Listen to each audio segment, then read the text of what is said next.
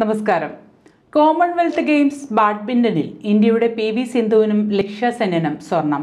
വനിതാ സിംഗിൾസ് ഫൈനലിൽ കാനഡയുടെ മിഷേൽ ലിയെയാണ് സിന്ധു തോൽപ്പിച്ചത്. സ്കോർ ഇരുപത്തിയൊന്ന് പതിനഞ്ച് ഇരുപത്തിയൊന്ന് പതിമൂന്ന് ആദ്യ ഗെയിം ഇരുപത്തിയൊന്ന് പതിനഞ്ച് എന്ന സ്കോറിനാണ് ഇന്ത്യൻ താരം സ്വന്തമാക്കിയത്.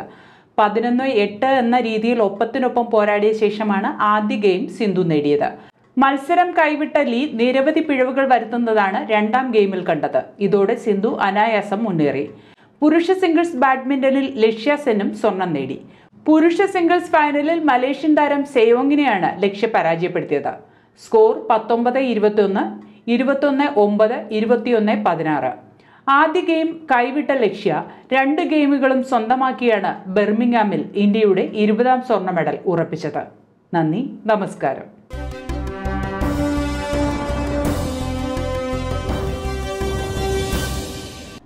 വീഡിയോ ഇഷ്ടമായെങ്കിൽ ലൈക്ക് ചെയ്യുക ഷെയർ ചെയ്യുക.